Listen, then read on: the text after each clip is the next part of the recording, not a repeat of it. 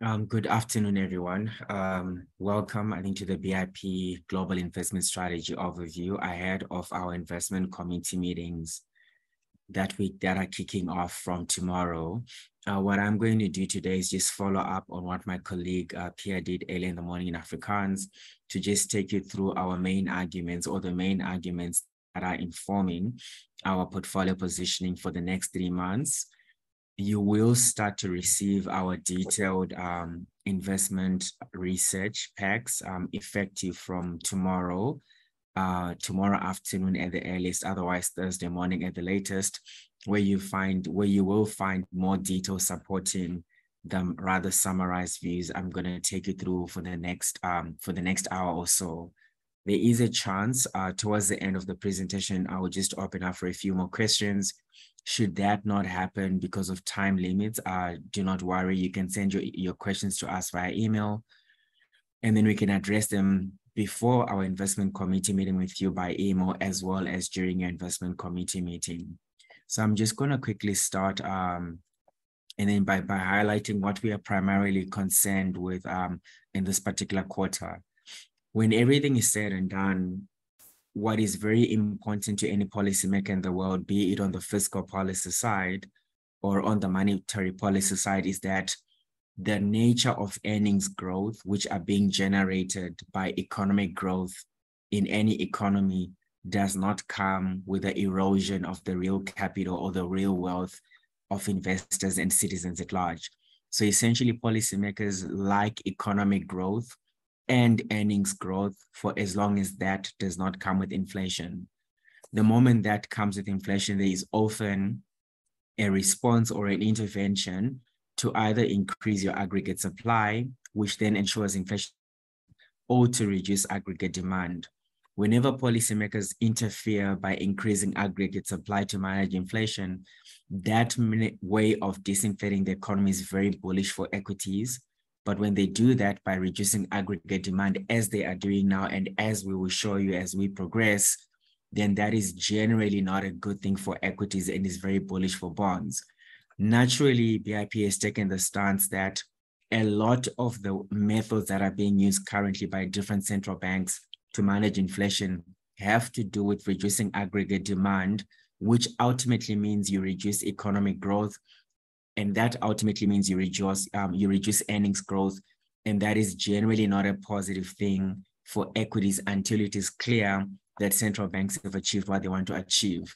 So it, it ends up looking like a macroeconomic um, environment or a macroeconomic discussion for asset allocation. But for all of you that are familiar with the process, you will know that we look beyond uh, the macroeconomic picture. But the most important point is that when inflation becomes a primary focus point or the primary medicine that has to be applied to the inflation disease, policymakers often keep on applying the medication regardless of what the side effects are. And I think many of you that are on medication in any way whatsoever would be aware that behind any medical box you take are disclaimers on side effects. Um, that is unavoidable consequences of taking that and what we are starting to see in this environment is a lot of unavoidable consequences of tight monetary policy. And generally, those suggest that the central bank has gone a little bit too far in trying to contain inflation. And therefore, the risks, in particular, downside risk for earnings, become very, very elevated. As we go through the coming slides, I think you'll start to see a lot of the side effects we're seeing today are really not new to this environment. They pretty much always happen in any capital market cycle and always they're always the same debates and they're always the same outcomes and i think for us that is very encouraging because the capital preservation mode or stance we've taken since may last year remains very valid if anything our conviction that we should continue to focus on protecting capital um, the hard-earned capital that um, our clients have entrusted to us, I think that conviction has become higher than ever before. To start off um, this presentation, I'm going to look at a paper that was presented by Janet Yellen in 2012. And the reason why she was presenting on this particular piece is because a lot of the attendants at that conference were trying to understand directly from her how she knows how to prioritize between inflation and growth. I think therein, a lot of the investors attending this conference just wanted to understand if there is a point where economic growth is so weak that the Fed starts to focus on defending growth and does not really care about inflation. And essentially, the answer that Janet Yellen gave is that um, ultimately, when you're dealing with monetary policy, there are two primary things that are very important. The first one, I think, if you look at what these uh, equations are saying, is inflation. Where this particular, um, I think, um, like symbol, which we call pi in mathematics or statistics, represents the current level of inflation, and then the pi star represents the Fed's target, in which case we're talking about 2% for core CPI. And then the next one, which is your labor market, ultimately a growth control mechanism again, there you see that uh, the mean um, or the equilibrium uh, employment, um, sorry, this mean is pretty much representing unemployment, which is the current rate. And then the mean star is pretty much the target of unemployment. And I think what Janet Yellen was trying to say is that the sum of these two things must always equate to the smallest number they don't actually care how they achieve the smallest number. They just do whatever it takes to get to the smallest number, which is really, which is pretty much what they refer to as the optimal control of what um of their of their of their of their of their goals. So if we start off with today's environment, you will realize that the problem really is not around unemployment versus the target. If anything, current levels of unemployment are quite close to where the Fed is supposed to maintain them at. The reason why this number is unusually large is because the difference between prevailing inflation and optimal inflation is extremely elevated. And the Fed is going to do whatever they need to do to make sure that the sum of these two is quite small, which essentially means they need to hike rates until they get there. A very quick back envelope calculation based on this particular formula to try and understand the degree of unemployment that has to be created to achieve the inflation target is pretty much shown on the on the charts to the right. And what this is just showing is that if the Fed is serious about bringing inflation back to 2%, they have to be willing to weaken the labor market from the current levels, I think of about 3.5%, all the way to 6.7%, which is quite meaningful destruction of aggregate demand. A different way of, um, of making this point across is to say, if you're dealing with the deflation regime, which is essentially where we were at uh, from 2008, essentially, all the way to 2019, what often happens in deflation is that inflation is not a problem. And the problem is that your economic growth is too weak to generate inflation. So the Fed will do anything to boost employment or they'll do anything to boost aggregate demand. Any hint of negative news, they quickly back off and they start to introduce quantitative easing, as well as rate cuts. So their reaction function is to always defend economic growth. Their reaction function is to do whatever it takes to create positive economic news. However, once you're dealing with inflation, the reaction function becomes opposite. In this particular case, you do everything as the central bank to develop to, to create bad economic news because bad economic news means you're weakening aggregate demand. Weak aggregate demand means you're controlling inflation. So the biggest risk, I think, today is that markets could be positioning for the same reaction function that the Fed was using to fight deflation instead of positioning for the reaction function when the Fed is keen on controlling inflation. And I think this is why every time the Fed comes out and is determined in its communication to fight inflation, you find that markets sell off quite aggressively. And when, whenever the Fed looks like it's it's unsure whether to continue with rate hikes or not, markets rally. But essentially, I think the underlying point is that markets seem to appear to want the Fed to continue to react as it did between 2008 and 2019, and that may not necessarily be the optimal way to respond, all else equal. So if we look at this particular equation, and if the Fed manages inflation according to the optimal control, the, the risk today is that the manner in which or the extent to which the Fed is determined to cause a recession so that it can control inflation is potentially a lot higher than the what the market is prepared for. If we look at this very simplistic chart, I mean, it just gives you a sense of the difference between global aggregate demand and global aggregate supply. Whenever global aggregate demand is the heavier one on this particular scale, meaning that we've got higher global aggregate demand compared to global aggregate supply, we end up with inflation, which you can see on the chart to the right, And in this particular case, uh, case we are focusing on core CPI. To the extent that this is being caused by global aggregate demand, the only way you can solve it is to reduce or to destroy glo global aggregate demand until the scale is balanced. And in fact, until inflation comes back all the way to this um, red line. And as you can see, the most positive development so far this year is that inflation is definitely peaked. The most negative development is that the manner in which disinflation is happening is extremely slow, slow, very frustrating, and very unpredictable. However, one of the most important thing when you look at this particular level of inflation and we go back to the optimal control curve, what becomes very clear to us is that the determination or the need for disinflation by the Fed is as high as at any other particular point in time, maybe until they get into these one sigma bands. What is far more important, however, from an asset allocation perspective, is to be very clear if the method of disinflation is equity bullish or bond bullish. If policymakers solve for for, for these levels of inflation by increasing aggregate supply until aggregate supply is dominating aggregate demand. That is very bullish for economic growth. That is bullish for earnings growth. That is bullish for equities. However, if central banks manage inflation by reducing global aggregate demand, that is what we refer to as bad disinflation. And bad disinflation is bond bullish.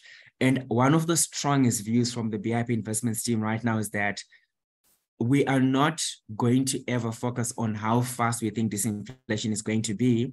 Although in a couple of slides from now, we'll tackle that particular subject. What we do know without an ounce of doubt is that the current strategy of managing inflation is bad disinflation because it is focusing on weakening global aggregate demand. And all else equal, bad disinflation is bonds bullish and when you look at the current positioning of the BIP portfolios, the multiple multi-asset balance funds, the global specialist building block mandates, as well as the local specialist building block mandates, one thing that is extremely clear is that we're bullish on local and um, global bonds to the extent of almost 20%, 10% local and roughly 10% on the on the global side, essentially because of this very clear macro argument that we have. What we obviously what is definitely going to frustrate us is that as long as we're taking the stance, we are very vulnerable to the one quarter or two quarters when equity markets outperform bonds. But for as long as history is going to repeat itself, ultimately this environment ends up with bonds winning over equities. And that's pretty much, I think, the bet we've taken in all of our portfolios. And that is also the one that protects capital the most, as opposed to one where you try to actively trade the equity market. One of the reasons why we're quite confident in a bond bullish stance, uh, bond bullish stance, I think being the primary word for our positioning, is if you just look at the Fed um, dot plot, uh, which is pretty much in this um, red text box, and you look at the stance that the Fed has taken for 2023, you will realize that the majority of the policymakers or decision makers on the central, on that central committee are expecting interest rates to remain above 5% uh, this year the Fed itself believes that the neutral rate of interest rate, which is the interest rate where you neither have inflation or disinflation, and the interest rate where you shouldn't really have any economic recession is 2.5% the fact that the Fed is now gunning for double that rate with quite a number of participants expecting interest rates to even go further than 5% means that the Fed is actually operating within this optimal control curve where they don't look at the side effects of the, of the medicine. They continue to apply the medicine until inflation has come back into these one sigma bands.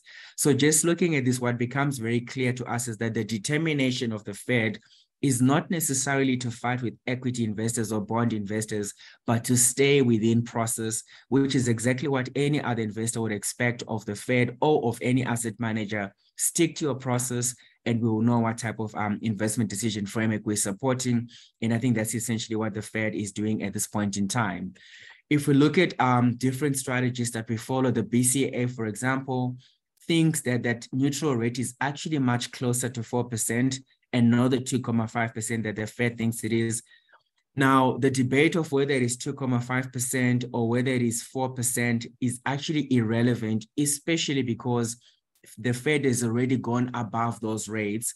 And the moment you have got interest above what the neutral rate is, you have moved from a tightening phase to a euphoric phase.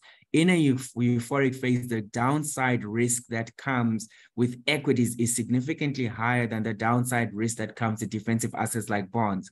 So for us, the argument of whether it's 2.54% or whatever doesn't really matter because of where the Fed currently is or where the Fed is communicating they want to go. Either way, we get a clear answer that the downside risk of equities is higher than bonds. And we then ensure that our portfolios are preserving capital, they're maximizing yield, and they are bond bullish, and we've got the right bond managers, all else equal. If we look at Alpine Macro, our different investment research provider, the argument gets very complicated in the sense that they actually are arguing that the neutral rate is closer to 1% and has been reducing with every recession that has come by. Obviously, the biggest argument is that the response to a lot of these recessions was the accumulation of debt. The more debt you have, the more vulnerable you are to rate hikes, or the, the less resistant you are to interest rate hikes. And hence the reason why the neutral rate is reducing. So I think what you can Im immediately see is for, for a decision maker or an asset allocator, you either get caught up in deciding whether the neutral rate is 1%, 4%, or 2.5%, or you just accept that regardless of what you think it is, the Fed is determined to keep interest rates significantly higher than any answer you have to the neutral rate. And the moment the Fed is taking that stance, you are in a euphoric scenario. And from a capital protection basis, you're better off with defensive assets like bonds or uncorrelated assets like the US dollar and gold, which are some of the primary positions across many BIP portfolios in this current market environment. If we then look at the market itself, um, we so far looked at three particular very important players in the market. We started off with, with um, we, essentially with the Fed's own view of where the neutral rate is we looked at the BCA, which represents quite a big number of strategists in the market. We also looked at Alpine Macro. And if we come back again now um, to the market and we forget the Fed, you, you realize that the market is actually very, very, very bullish around what the neutral rate of interest rate is. There is a very high chance the market thinks that the neutral rate of interest rates is lower than what Alpine Macro thinks, is lower than what the BCA thinks, and is lower than what the Fed itself thinks because of the speed at which they expect the Fed to cut rates. You can only expect the Fed to cut rates that fast in 2023 if you believe that they've hiked rates extremely aggressively. Otherwise, if, if the market believed the Fed was very close to the neutral rate, they wouldn't ex expect such an aggressive rate um, tightening. The Fed, on the other hand, as you can see, is in no hurry to cut interest rates at all meaning that they prefer a tight policy and they believe maybe the neutral rate is higher. And essentially here, BIP then leans on the old mantra that do not fight the Fed when trying to allocate hard-earned capital that is not yours, but belongs to clients that are relying on you to protect that as much as possible.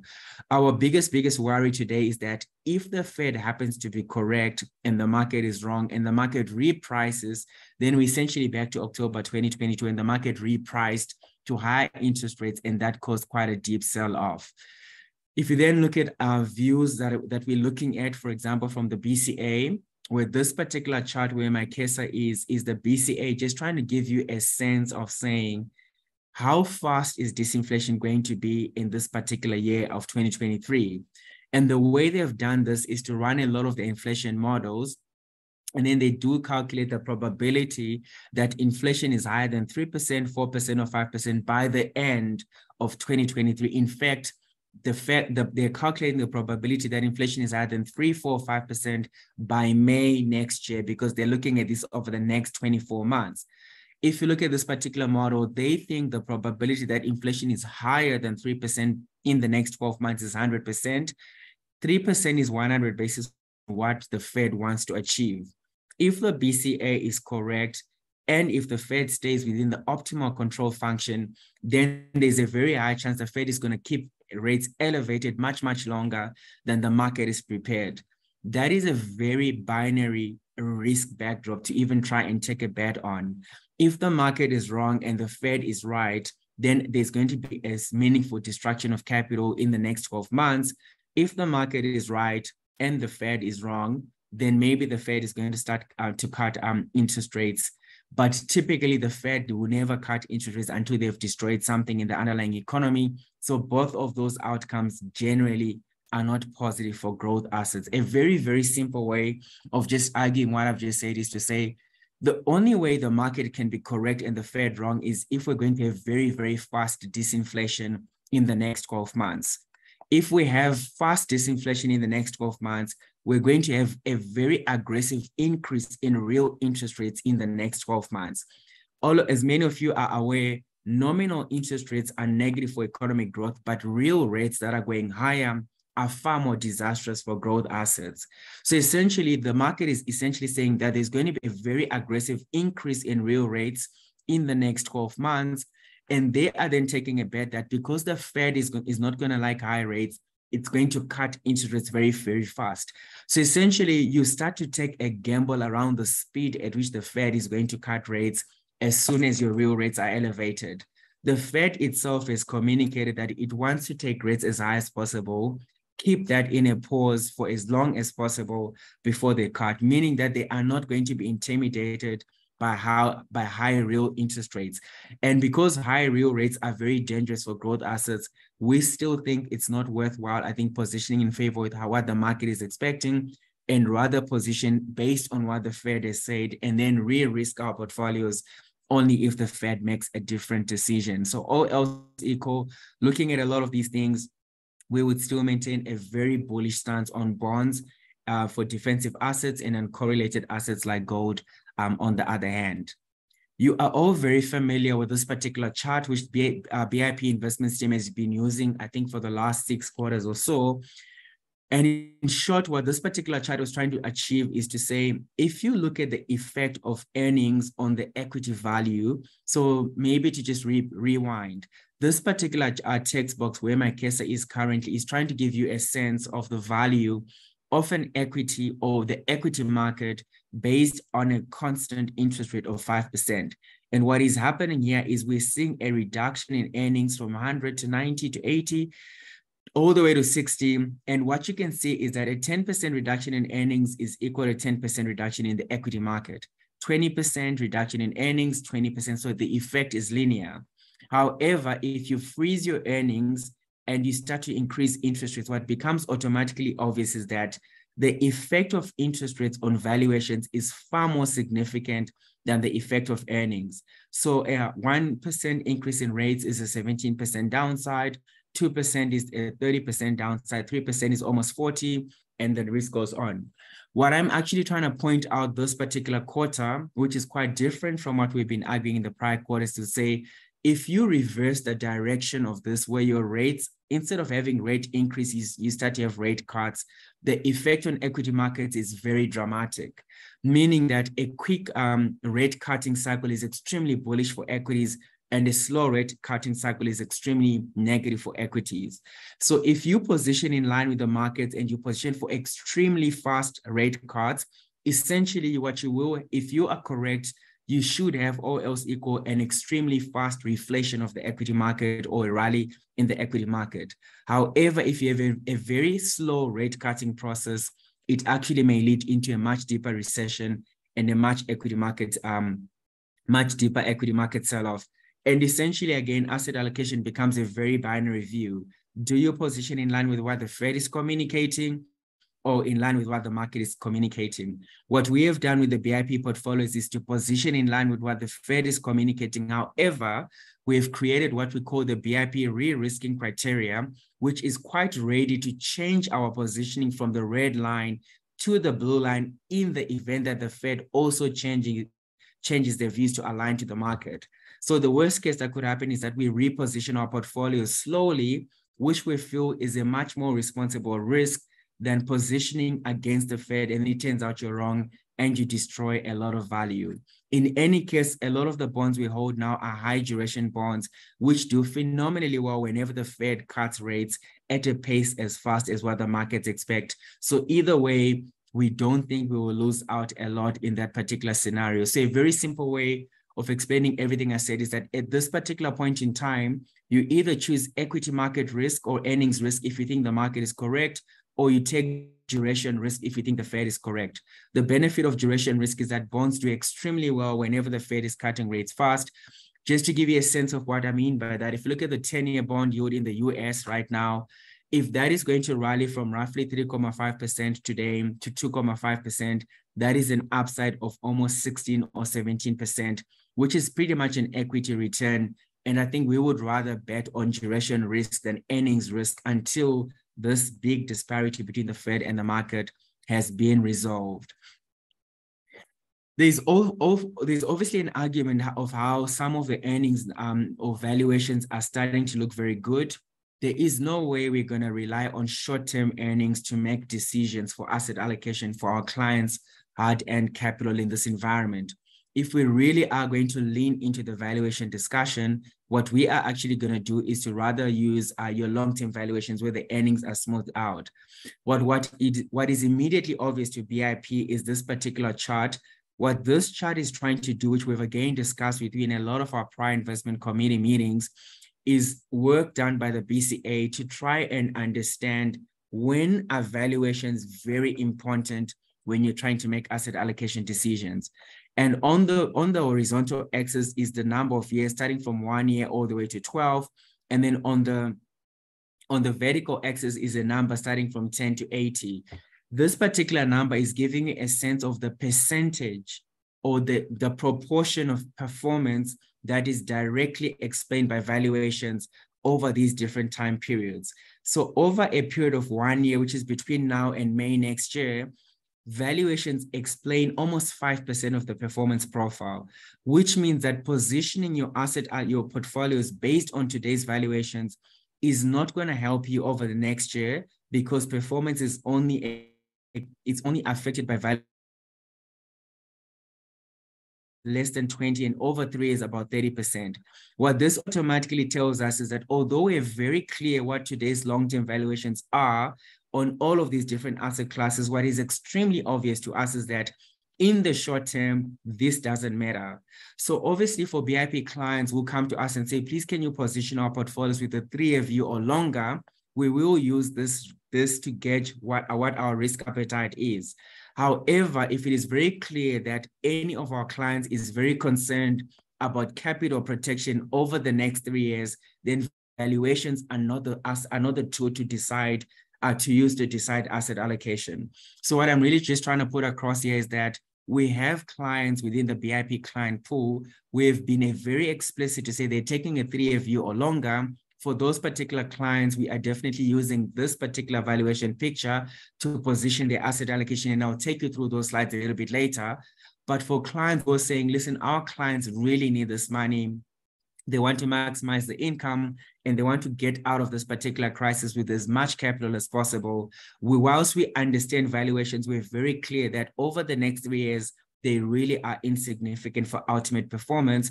And there we're actually relying more on the business risk considerations. And business risk considerations typically are a more effective tool for protecting capital over the one to three years, but over the long term, they mean nothing. So essentially, we're, we're balancing out the two, but depending on the client's risk appetite. And if we look at our own traditional measures of, of recession risk, the risk of recession is extremely high, which means that we're definitely very defensive for clients who are very conscious of their performance and capital protection in the next three years and less defensive for clients who only want to focus on long-term valuations. These clients obviously have to be content with long, big drawdown short-term, but in the long term, it actually doesn't matter. They'll make up for that unless they, they make very, very drastic asset allocation adjustments at the wrong time. So with all of that background in place, we're just going to go back into time and just look at a lot of um, examples that are giving the BIP Investments Committee conviction to run portfolios which are very defensive, which have got very high duration risk, because on the long end of the local and global curve is where you've got the highest yield and that's also, in our view, giving much better capital protection than equities. So essentially, we're going to take you through arguments to explain or to help you understand why our conviction on capital protection and yield maximization has been increasing since we started de-risking our portfolios around this time last year. if I start off uh, with this particular chart, I think one the theme of the next 10 or so slides is that there is always an argument. There is always an argument, but although there is always an argument, the facts actually never really change. So what we mean by that is if you look at this particular mark, um, uh, chart on the left, it is one of the things that come up when you listen to any global investment strategist. They will find a macro regime which they believe is the best representative of, of what is happening today. Two of the most common macro regimes that have been chosen is this 1981 or 1982 regime, which is pretty much, I think, um, this one to the left, or the 2001 or 2002 regime, which is the one to the right. What I just want to leave you with is, is that um, so and in all of those regimes is one other thing i think that is very very important. In this very first one where we're comparing the 1981 or 82 regime to today you'll realize that the olive green um, chart is the market's performance so far. And then this dark i'm just going to call it black to make it easy. This dark black line is essentially what was happening in 1981 or 82 what is clear from the H1 82 regime is that the sell-off process or the bear market process or the capital preservation period actually came up with a lot came with a lot of relief rallies that ended with lower lows and lower lows before the ultimate rally. And in all of these cases, this ultimate rally did not happen until there was an aggressive rally by the bond market in response to aggressive rate cuts by the Fed. So the equity market did not rally until the bond market rallied. The market did not rally until the Fed cut interest rates, and hence the pathway we have taken to start off with bullish bets in bonds on the long duration, moving that to equities if we get the call right, and then obviously back to benchmark um, SAA once all of this is played out. If you then look at the same uh, regime in 2001 or 2002, it is also quite interesting that the profile is the same. In the capital preservation period, which lasted about two years or so, equity markets had a lot of relief rallies, but with each relief rally came a lower low and a lower low. And a simpler way of saying everything that I've said is that it actually doesn't matter which regime you, you choose. 1981 or 82, the 1970s, 2001, 2002, 2022, 2023, I think the argument is that a lot of bear markets have the same profile. There's a very first part where equity markets sell off because the interest rate has been increased, then the second part, where as your earnings are now contracting in response to tighter financial conditions, equity markets sell off again. And sometimes the sell of the manner in which earnings recession happens is so dirty that markets, um, market participants uh, panic and then they sell out in this liquidation phase. So if you look at our commentary, the bullish camp in the markets will argue that um, markets can only price a recession once, so there can only be one low and not two or three lows. And essentially, this would be the camp of investment strategies like Alpine Macro. But looking at a lot of these regimes, it is very clear that although the market started pricing in a recession earlier, there were lower lows, meaning that this recession was priced more and more negatively as reality started to manifest. The bearish camp obviously just look um, looks at how the, the, the lows get worse and worse and also often refer to the anatomy of this. But in general, I think BIP has taken the stance of saying, if this is how many bear markets have looked like in the past, why would we take a chance and position portfolios in a manner that is different, especially if it's going to expose our clients to unnecessary um, earnings risk? And that's essentially where we are today. And hence our bond bullish environment until we see meaningful deterioration of earnings or until we see a meaningful change in the discount rate where it becomes meaningfully lower because the Fed has cut interest rates lower. So for us, it's either meaningful earnings contraction or we a Fed pivot that comes with aggressive rate cuts. Those are the only two scenarios that might entice us to move away from bonds back into equities. But the fact that this particular rally came after a very aggressive bond rally gives us a lot of conviction to remain the way we are from a portfolio positioning perspective. The second argument that has always happened in the past is um, the relationship between a soft economic landing and earnings. In 2001 or 2002, if you look at this particular chart, there was a very mild recession, pretty much a soft landing.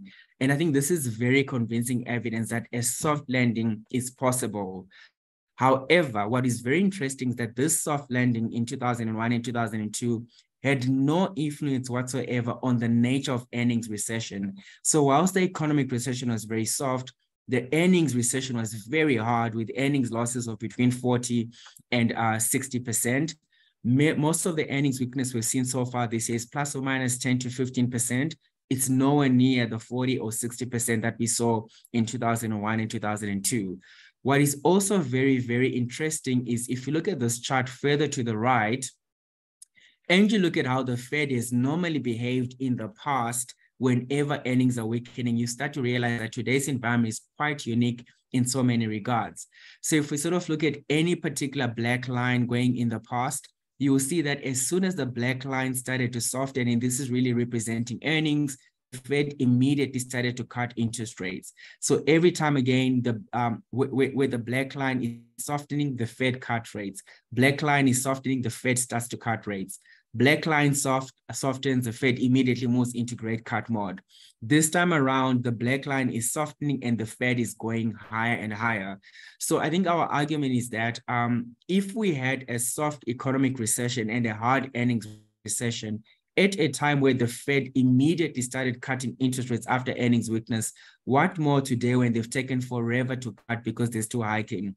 Again, we're not going to take a stance on whether it's going to be a hard earnings contraction or a soft earnings contraction, what we do know is that there is no relationship between a soft economic landing and the nature and the impact on equity markets. So definitely the Fed could engineer soft landing, but when it comes to the equity market, that is a very different conversation altogether. And this is why, again, the BIP investments team or the investments committee has taken a decision.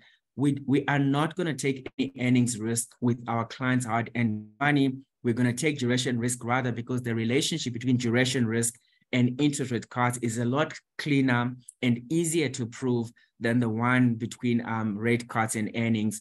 And for that reason, we're sort of staying bond bullish based on the fact that although these arguments always happen, they're really not conclusive and you're better off positioning portfolios um, defensively. Another very, very interesting argument is, is the Fed even capable of achieving a soft landing? If you really want an answer to that, just go back to this particular paper on the 15th of February, 2007, and just look at what the Fed chairman was saying, projecting a soft landing. And guess what? It did not happen. They had a hard landing on the economy, and they also had a hard landing on the economy and the earning side. So essentially, we're just saying a lot of these arguments in every in cycles are similar, but the facts never change. And for us, because there's always an argument, the facts never change we are pretty much positioning on the facts we understand, the facts we've designed our process and philosophy around. And that is essentially to say when there's the risk of recession is high, when earnings contraction risk is very high, maximize your yield, maximize duration risk, and stay in that posture until you've got much better visibility. We're very, very aware of how the global investments community likes to respond to a problem with the linear brain and only to realize it that they needed a far more complicated brain. You need to look no further than 2020 when when research, when COVID started, there were a lot of linear arguments. It's going to be contained in China. There are more people dying from suicide and diabetes than COVID. Why should anyone worry? And guess what? It turned out to be a very complicated and very, very exponential problem on economic growth and earnings. In 2022, with Russia versus Ukraine, and guess what? Many people were saying it doesn't make up more than 2% of global trade. It's not consequential for global investment strategy. And before we knew, whatever was called 2% global trade affected the entire commodity prices and added to inflation risk in a very significant way. And it's not surprising that today the very same global investment strategists are making arguments. There's nothing wrong with the US banking sector. It is very strong like we will pass through this. And yet every time there's a problem the same simplistic linear linear issue destroys a lot of value. And we pretty much again just making the argument say when we start to observe this we start to become more convicted in staying bond bullish gold bullish in our positioning and at the right time we take on earnings risk but not now i think it's essentially our underlying message if you look at this particular chart, it also really increases our conviction. So the chart to the furthest of the right has got two colors or line, two lines in two different colors. The first line is a gold color with a rolling 12 month return of the Fed's interest rate, and it is inverted, meaning when it is moving higher, it means the Fed is cutting rates, and it, when it is moving lower, it means that the Fed is increasing interest rates and the blue line is GDP. And I think what is very obvious is if you go back to 1970, the effect on monetary the effect of monetary policy tightening on GDP only starts after 12 months. The Fed started hiking rates around May last year, meaning only now in going into June are we going to see the effect of all the rate hikes we've started to see, meaning that it can only start getting worse. And the reason why we're saying it can only start getting worse is that this correlation between the rolling 12 month number and GDP is actually very, very tight. It's very difficult to argue against this. And to the extent that we have already seen this rolling 12 month number going this deep, it's very difficult to expect GDP growth to not follow if it always has done so historically. Based on this particular factual observation, and that there's always an argument of how long monetary policy takes, when we come back to the chart to the left and you calculate a rolling 12 month number of what the interest rate is, you realize that although the Fed is now at 5% or just close on 5%, on a rolling 12 month number, that number is actually um, like uh, where the solid line ends, which is just about 3%, which means that the rolling 12 month effect of monetary policy is still 200 basis points lower than it actually is in reality, meaning that we need another six or seven months for the rolling 12 month number to catch up with where the Fed is. This means that for the rest of this year, the effect of monetary policy tightening is going to get worse and worse in GDP number. And if history is going to be repeated, GDP numbers are going to get worse and worse and worse. So again, in our view, whilst there's always an argument around this, the effect is factual and the mathematical equation right now shows that there's more pain to come based on prior interest rate hikes. And again, for us, this is not a time to take on a of earnings risk.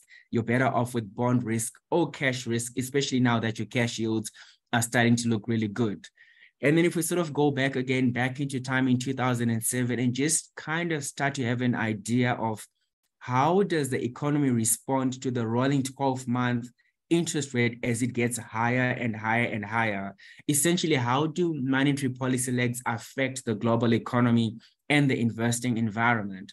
When you look at 2007 as a template, what is very obvious is that it starts by hitting the housing market, then it moves on to banks, and then it finishes off with the labor market. Essentially, what I'm trying to say to you is that initially, as the 12 month number goes up, the most sensitive to interest rates is the housing market. That's where you see weakness. As this number moves high, it starts to hit the banking sector. And as the policy effects move further, you start to actually see the effect on the labor market. Mind you, I'm not talking about further rate hikes. I'm talking about the current interest rate starting to have an effect because their effect on the rolling 12 month number looking backward is getting higher and higher and higher. And that's essentially the progression. So if our rolling 12 month number is going to catch up with the current level of 5%, it is very possible we're not going to escape the sequencing of pain, starting off with the housing market, moving on to banks, and then finishing off with the labor market. Now, if we sort of look at what is happening in the current cycle, you can see how the housing market has already been hit it has been hit faster and deeper than in 2007 because the rate hikes this time around were faster and quicker. And the second estimation by, by BC is that the bank banks are also going to be hit similarly. That's already started to happen. If you look at the projection of this slope for the banking sector this time around, what is very obvious to us is that it's also faster and steeper than what we saw in 2007. And no doubt it probably is going to stay the same for the jobs market we don't want to put a lot of emphasis on this on the faster and deeper although that is exactly what is happening. We're putting a lot of emphasis on the fact that it takes a while for the effects of monetary policy to feed onto data and typically the sequence is it starts with the housing market the banks and then the um, and then the job market. And looking at this progression it is definitely worse than what we saw in 2007 on that basis again we think this is not an environment for earnings risk we're better off with duration risk or rather just yields on cash, especially because yields are um, starting to look for far more attractive. If you then look at this particular argument, I'm going to start off with the chart to the left when we had the collapse of Bear Stearns. And again, the argument was that um, things are looking fine, do not take your money out. And then look at FRC, the same arguments are happening. If you look at what is going on so far, the three banks that have failed so far in America are pretty much bigger than the 25 that crumbled in 2008.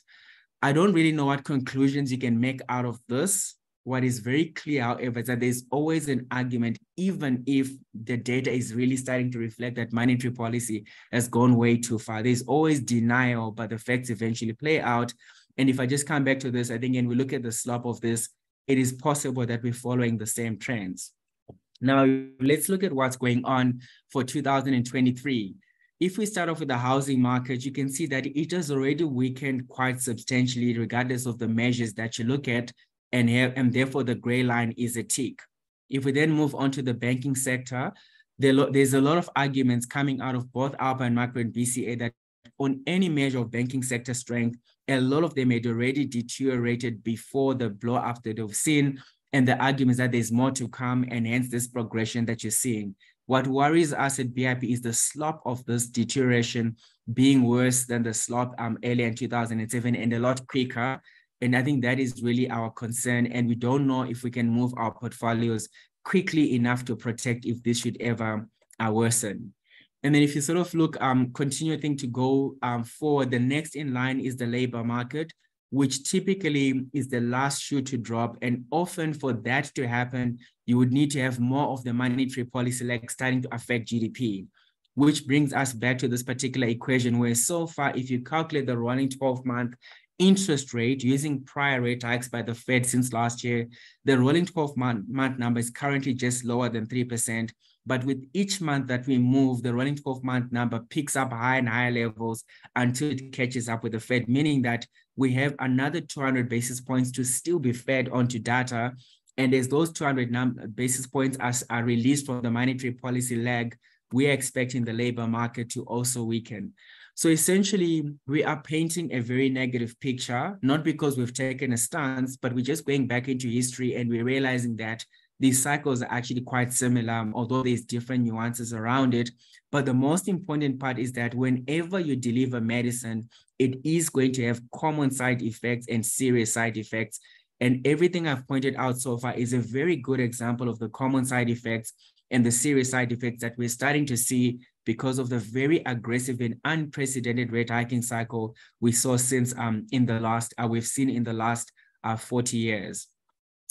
I want to just talk about another argument that is often confusing us at, at the BIP Investments Committee, which sort of makes us very anxious, especially when we're seeing relief rallies where we start to think we're a bit wrong in our thinking. And this is essentially the argument that this time around the US consumer is in a very, very strong space if you sort of look at this particular chart, I'm going to focus on where my cursor is, and I'm hoping you can sort of follow with me. What it shows you is that it's the trend line level of consumer wealth. And, um, and essentially, if you then look at the chart below, every time the line is going higher, it means the US consumer has got a lot of wealth benefits and a lot of savings on their side. And every time it's deteriorating, it means the US consumer is losing their spending power.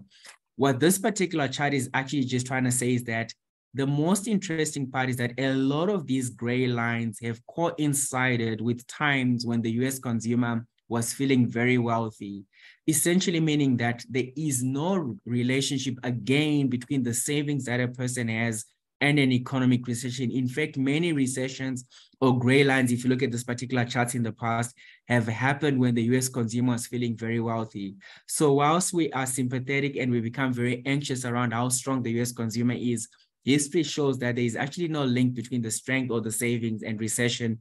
You can still have a recession even when people have got a lot of savings.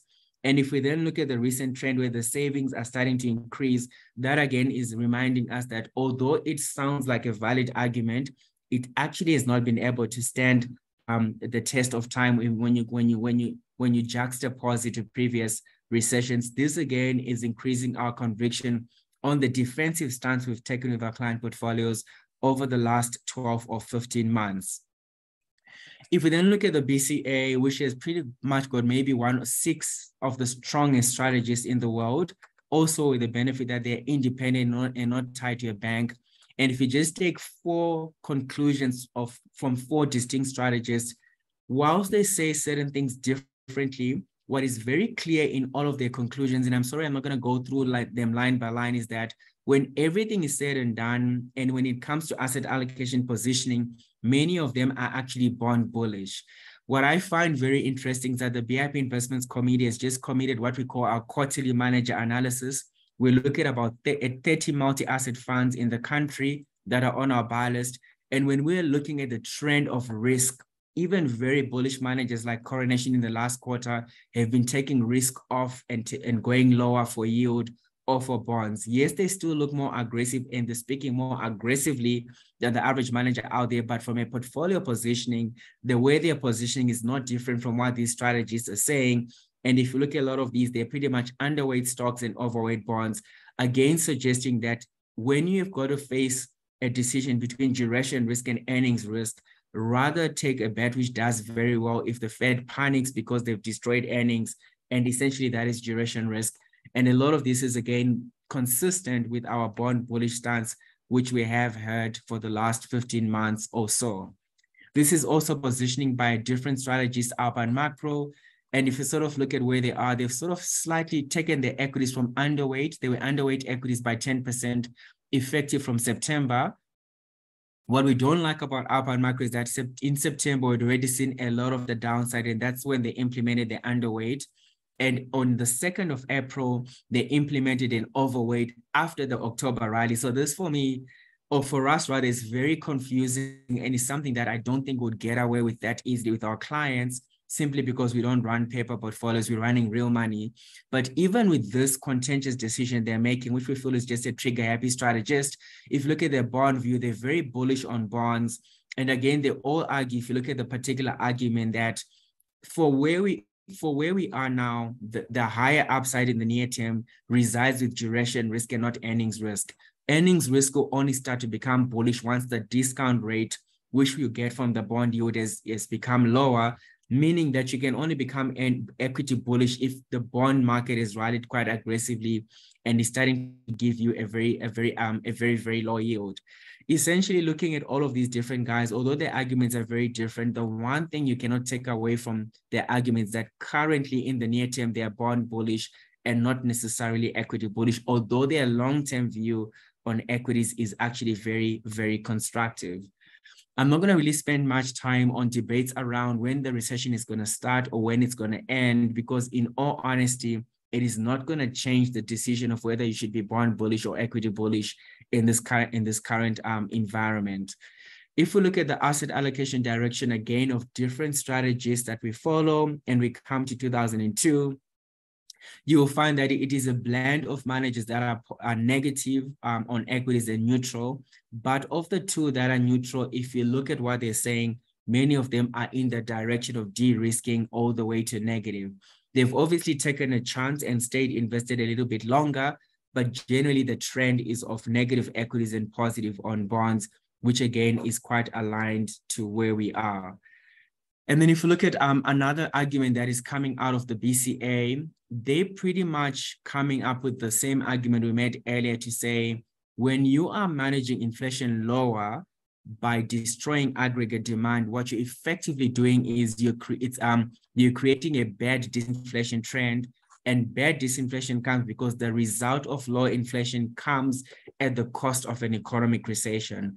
And generally that is very bullish for, for bonds and not for equities. And I think the BCA is making the argument to say they suspect that over the over the coming few months or uh, of 2023 every time that we're going to see a lower inflation number there's a risk that equities are going to rally and investors are going to buy more equities and they're pretty much saying that is the worst mistake you can ever make because each month that comes with the lower inflation number is confirming to you that the earnings that you might be chasing are going to contract.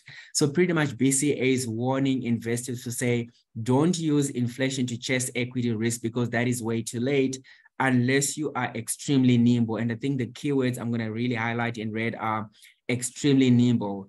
Many of our clients, you would know whether you've got a fund of fund or uh, rep portfolios that the speed of execution of those vehicles is extremely slow.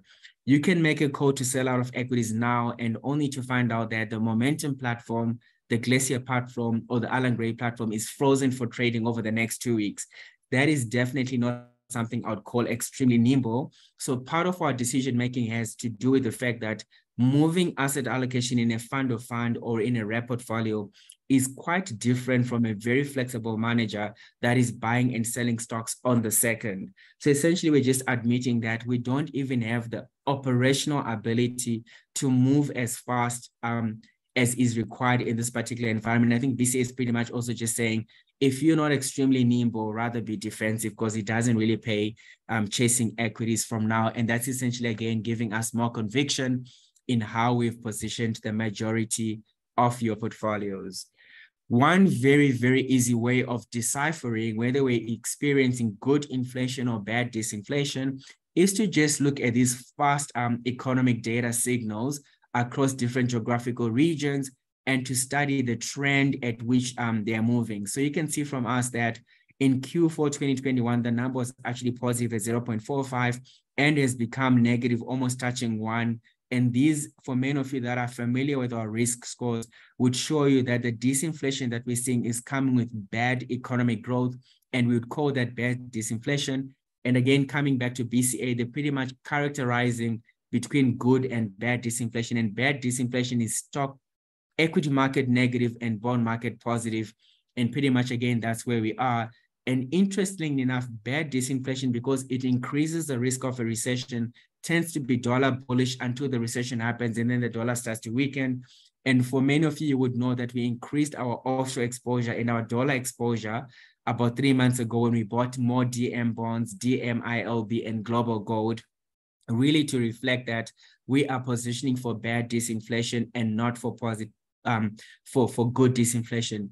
Granted, the BIP team is aware that the dollar is very expensive. Granted, we know that the mean reversion potential is the highest we've ever seen historically. But for as long as we're encountering bad disinflation, I think it would be premature to position for fast weakening of the dollar. However, should the dollar start to weaken by surprise, a lot of the exposures the BIP team has, like global value managers, global small mid cap managers, global gold, emerging markets, Chinese equities, all of those things really do well when the dollar is on a weakening um on the weakening foot. So we definitely won't be caught out. It's just that that's not what we are positioned for for the next three to six months. If you look at the same scores across different geographical regions, the only one that you see backing the trend is the China cycle, which is now moved from minus one to minus 0.13 and continues to improve which I think all of you again will be aware that is the thesis upon which we introduced an allocation to Chinese equities of between 5 and 10% um, over the last uh, three months. So I'm not going to go back to more historical examples and how there's always an argument, but the facts never really change. What I'm going to do maybe is to just pretty much, I think, remind um, us that capital preservation remains our main focus, mainly because the yield curve is inverted. And traditionally, whenever this happens, all the examples I've given you start to play out, they play out gradually, and it really, really requires an investor that is very patient with asset allocation to really preserve the most capital that you can when as this plays out. We also really much are um, expecting earnings recession. We think that the earnings drawdown can be very significant, even if there's going to be a soft landing. And we also don't really want to take a bet on how that's all going to play out for all the reasons we've already taken you through. And on that reason, we again positioning portfolios with less appetite for earnings risk and definitely a lot of time for yield risk um, and capital preservation. And for, for many of you, again, our portfolio or our investment decision making does look at a lot of things. So we pretty much look at about seven different areas that affect an investment strategy. However, when the yield curve is inverted, we, we typically suspend anything that requires a strong view of earnings because we don't think you can have a strong view of earnings when the yield curve is inverted for all the arguments I've, reason, I've given reason to, essentially confirming that we are in a euphoric regime. In a euphoric regime, we prefer to be underweight earnings risk or growth assets overweight yield risk, duration risk, or bonds, rather to be simple, and then uncorrelated assets, which is essentially your gold and the US dollar. We are very aware of the relief rallies that typically occur whenever you're defensively positioned. I've already given a lot of examples of how in all prior regimes, you always have them, but ultimately the market appears to sell lower and lower until the ultimate inflation issue has been resolved. We are quite happy, however, to give up on this particular risk and remain well positioned to add our risk as soon as this is played out. And essentially, this we think is the more important part of the equity market. And to the extent that most BIP portfolios have got up to 20% dry powder, we've got a lot to work with that even if we don't catch all of this, the fact that we preserve more and capture as much of this as possible should help with our risk return outlook over the coming few years. We're also quite aware that once you are in this euphoric regime, it typically takes anything between zero and 34 months at the maximum. We pretty much have exhausted a good 12 months or so, and they've got another 24 months to go. If the particular this particular cycle stays euphoric for 34 months, then we've got another two years to go. But if I, as I've already shown you with how steep the weakening of the housing market has been and how steep that of the banking sector has been, chances are we may not be de-risked for another 24 months, but it is a possibility. And I think we're quite prepared for either. And then we're also very aware of the importance of patience from this quant example by Bank of America Merrill Lynch, which I think we've shared with you for the last six quarters, where we're essentially looking at this um, solid blue line, which is the average performance of many investment strategies when the Fed has just started to hike rates the second one is the average performance of many investment strategy of the MSCI World, uh, All Country World Index when the Fed has just cut interest rates. So this particular one, the flat line here is the is the performance of the ACWI on average 12 months after the first rate hike, the same after the first rate cut, the same after the last rate cut. And when you look at the top gray line, the bottom gray line, and this flat average line, what you see is that the upside downside relationship of the ACWI after the first rate hike and after the first rate cut are really quite poor in the sense that the downside risks are quite material. However, if you look at the same profile in the average 12 months after the final rate cut, what becomes clear is that asset allocation and re-risking are not normally beneficial or profitable if you rush into re-risking after the first rate cut historically have made more money by waiting out to see why is the Fed cutting? What have they destroyed? How long is it going to take for earnings to recover given the damage caused by the Fed? Without those answers, rushing back just because the Fed has pivoted historically has not been a winning strategy. The, odds that it will work against you are quite high. Whereas when you wait out, you can see how the odds increase meaningfully in your favor, which again is the reason why we're saying we would rather wait and collect as much yield as we can from bonds and as much capital gains as we can from duration risk. And once we've exhausted that play, we will then uh, come back into equities. Obviously, we can be wrong, but based on a lot of examples we're given, we do think we've got a lot of um, history on our side. I'm going to conclude our arguments, which, as you have picked up, are not really different from what we've been saying for the last 12 to 15 months, except we're using different examples to say the same thing if you just try and understand what is the risk regime looking like today, the first risk regime you have is your global macroeconomic regime. The problem with the global macro pitch is that if you have very fast in disinflation, you're going to have an aggressive spike in real yields. Real yields are far more dangerous for earnings and economic growth than nominal yields, meaning that if you have a fast disinflation and the Fed doesn't cut rates quickly enough, as they have already said, then the downside on the macro front becomes quite large. However, if the Fed cuts rates very fast, you easily end up with a neutral appetite for equities. All you can tell from here is that the range of possibilities on the macro is still way too wide for us to even consider taking any, any downside risk, and hence will remain defensive.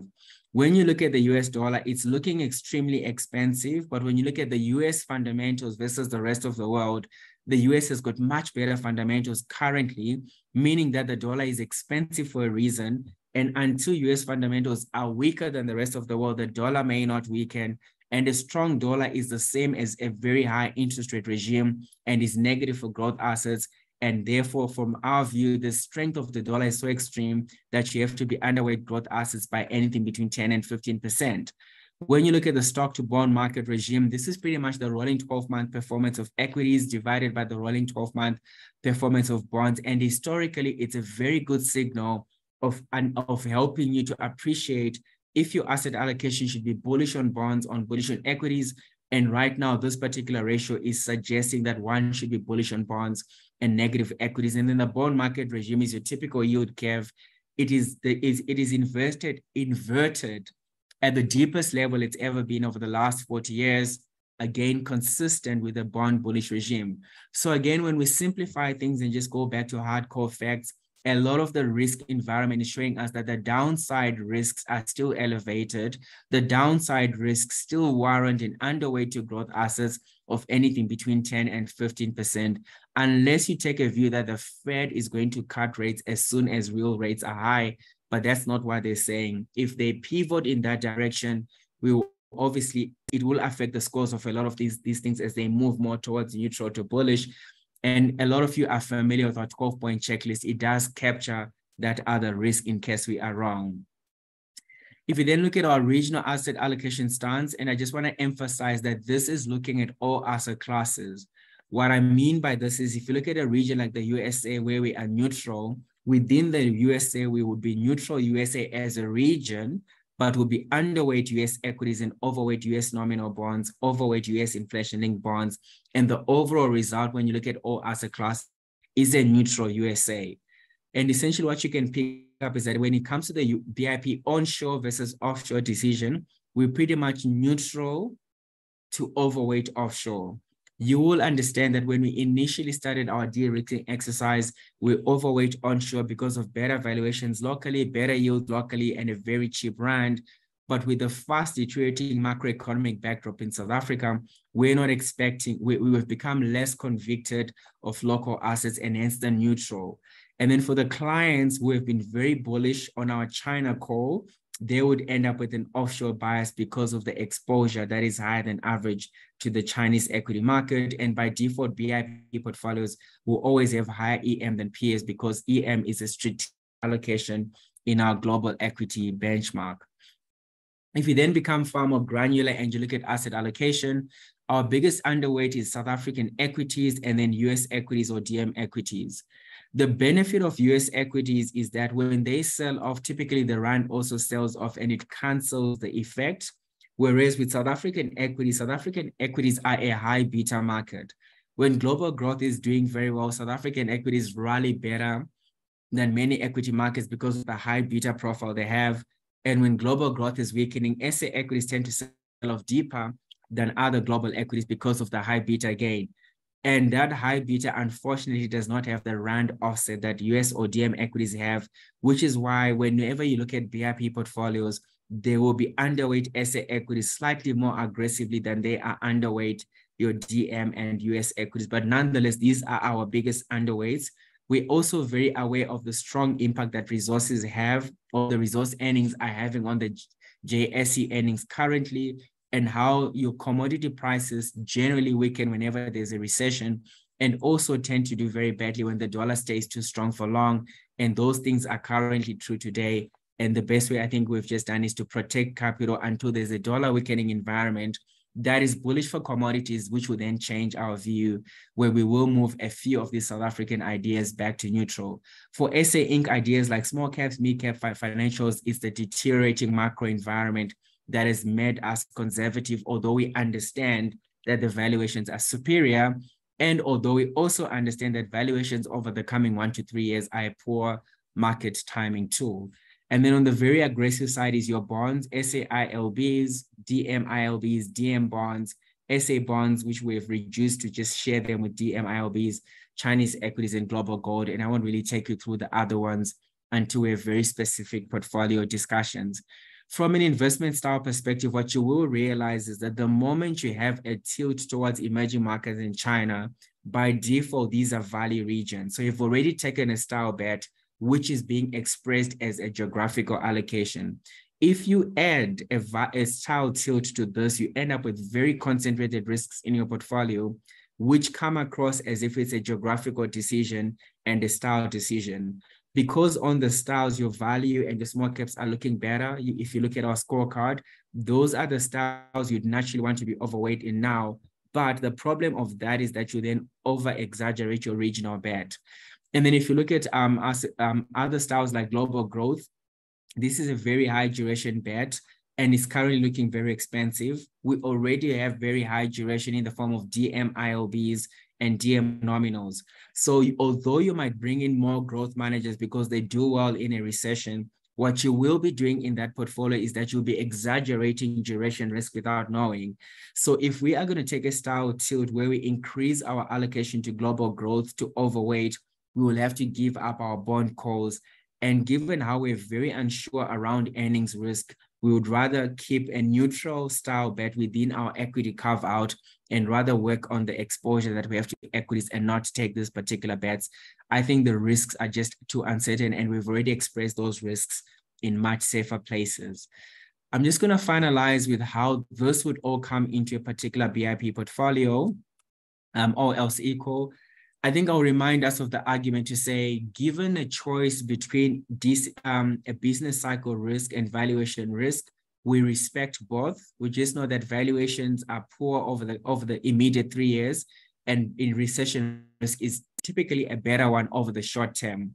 So if we put a lot of emphasis on business cycle risk or economic recession risk, you will find that our portfolios will end up being positioned like this, where we're 10% underweight South African equities, and that 10% South African equity underweight has been offset by the 10% allocation to the Chinese equity market, for example. We're 2.5% underweight South African property because the benchmark is lower at 5%, and that has gone to ILBs, which are also an inflation asset, except with much less earnings risk. We are overweight South African nominal bonds by 5%, um, all else equal, and that is really because we are underweight developed equity markets by 5%. We're underweight um, global real estate by 2.5%, and that has gone to global ILBs. And then we also underweight global credit by 5%, and part of that has gone to DM ILBs or DM bonds, and part of that has gone to global gold. Essentially, I think this a lot of our clients would have a nuance of this depending on their own business risk appetite but this is our default positioning when we're taking full consideration of macro regime risk. We are aware that there's certain clients who don't believe in macro regime asset allocation strategies and rather want to continue to focus only on valuations and they've taken a long-term view. For those particular clients, our process can cater for them as well. And what you'll find is that the underweights are far more constrained and they are not as aggressive as when you are taking into account your macro regime risk. But either way, this is now a client preference, but the general direction of risk, I think won't really change that much. The same picture applies when you look at your global specialist building block uh, strategies. We have a recommended stance for a macro regime adjust, adjusted global balanced fund and one which is really taking more account of valuation risk and less of macro regime risk. Either way, they've got a similar stance just the one is more aggressively adjusted from the strategic benchmark than the other. And then for the portfolios where we blend different uh, balanced funds, we're not taking any style bet, as you can see in the, in the middle. We are aware that global growth style is a high duration style, which should do well if bonds are rallying. And ultimately, it means we should be overweight, but would rather take that bet in this 15 to 20% allocation to bonds that we have for this particular strategy. The only bet we're really trying to take here is if the client is willing to get, let go of some of the bonds in favor of um, the Chinese balance fund because of how attractive the Chinese opportunity set is looking like. This pretty much, I think, um, take brings me to the end of the arguments we have, BIP Global Investment Strategy. I'm going to quickly check in the question box, and I'm also going to check if there's any questions that have been sent directly to Eugene or to Olga. And I'm also just going to quickly open up for questions. But in doing that, I'm automatically handing you back to Eugene as well as to Olga. So I'll just wait maybe for a minute or two for any questions. Otherwise, we're really looking forward to meeting with you. Our meetings kick off tomorrow, and we're going to be on the road for the next month. If there's any specific question you would like us to address, if you'd like us to forward to you our recommended positioning for your portfolios way ahead of your meetings, please just send an email to us. But many of you realize that you're already positioned like this because we're not changing anything from what we communicated last quarter. Thank you so much for your time. Uh, back to you, Eugene and Olga, but I'm going to be on standby for questions if there's any. Hi, Tab. There's no questions from my side. I don't see anything in the Q&A box either. Uh, I can maybe suggest that you know, if any of the audience have any questions that they forward directly to the BIP team or yourself, uh, and we can deal with those questions uh, offline, off the session. uh, or then more specifically in the upcoming quarterly meetings. Awesome. Thank you, Eugene. Thank you, everyone. And thanks, Olga.